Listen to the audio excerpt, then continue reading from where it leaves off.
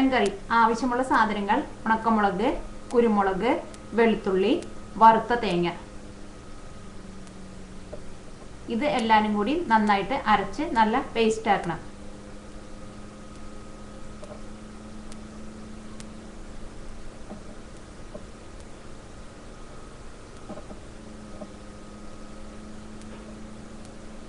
Second ingredient mutton സവോള കാശ്മീരി മുളക് പൊടി മഞ്ഞൾപ്പൊടി വേപ്പില ഉപ്പ്.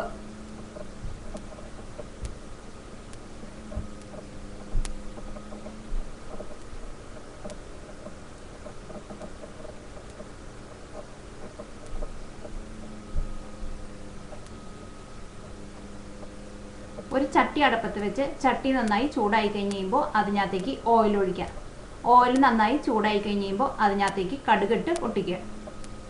കടുക് നന്നായിട്ട് പൊട്ടി കഴിയുമ്പോൾ അതിനകത്തേക്ക് സബോളയും വേപ്പിന്റെ ഇല ഇട്ടിട്ട് നല്ല ഒരു ഗോൾഡൻ ബ്രൗൺ ആവുന്നതുവരെ നന്നായിട്ടൊന്ന് വഴറ്റാം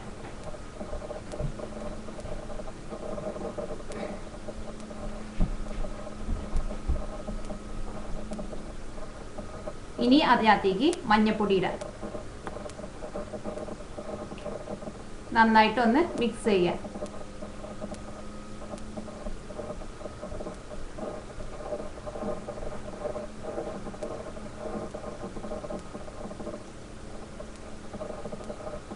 ഇനി അതിലേക്ക് മുളക് പൊടി ഇടാം.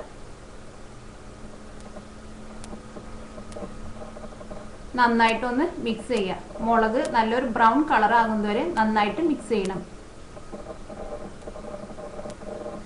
പ്രത്യേകം ശ്രദ്ധിക്കുക മുളക് ഇടുമ്പോൾ തീ നന്നായിട്ട് കുറച്ച് വെക്കാം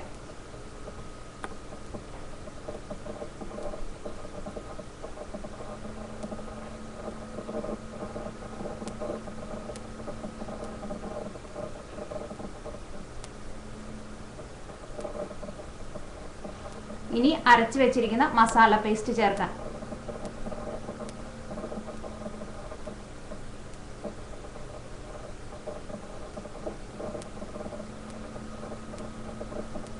നന്നായിട്ടൊന്ന് മിക്സ് ചെയ്യാം.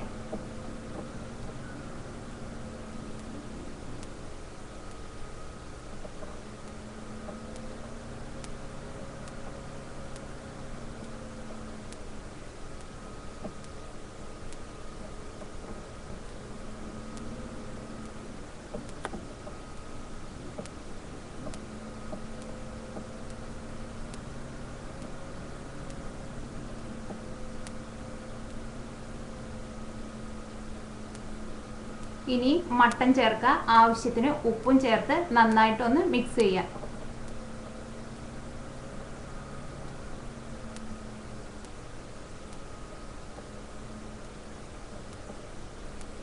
ഇതിനകത്തേക്ക് ഒട്ടും വെള്ളം ചേർക്കരുത്.